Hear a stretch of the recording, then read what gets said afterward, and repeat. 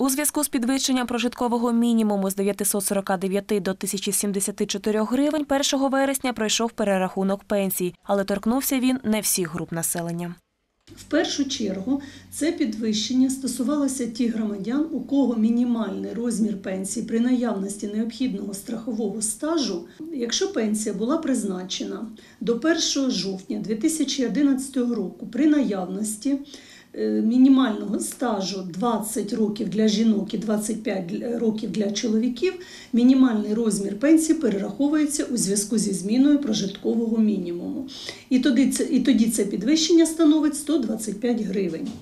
Якщо пенсія призначена після 1 жовтня 2011 року, то необхідний стаж становив 30 років для жінок і 35 років для чоловіків. Перерахунок відбувся і для тих е, пенсіонерів, у кого розмір пенсії більше, чим прожитковий мінімум за рахунок доплати за понаднормативний стаж. Але Непрацюючі пенсіонери, які отримували індексацію, розмір індексації становив 179 гривень 30 копійок.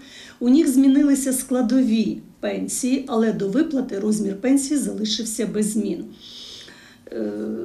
Змінилися складові заробітної плати в учасників війни, в інвалідів війни, учасників бойових дій. Надбавки дітям війни є законно фіксованими у розмірі 66 гривень 43 копійок. І зміна прожиткового мінімуму цієї суми не торкнулась. Не отримали доплату інваліди третьої групи, що не відпрацювали належну кількість років. Пенсіонерам, стаж яких менше встановленого, доплату нараховано пропорційно наявному стажу, але до 949 гривень.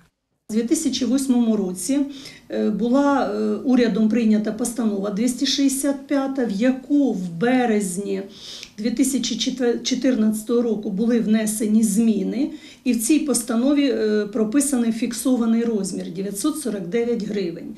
Так, так що ті пенсіонери, які не мають необхідного стажу, отримали. Будемо казати так, підвищення не відбулося. Тобто відбулося тільки перерозподіл пенсійної виплати. У жовтні для пенсіонерів підвищення було подвійним, оскільки включало доплату і за вересень. В листопаді ж доплата буде одинарною, тобто на 125 гривень менше жовтневої. З питань щодо розміру пенсії раді звертатись до управлінь пенсійного фонду України за місцем отримання виплат.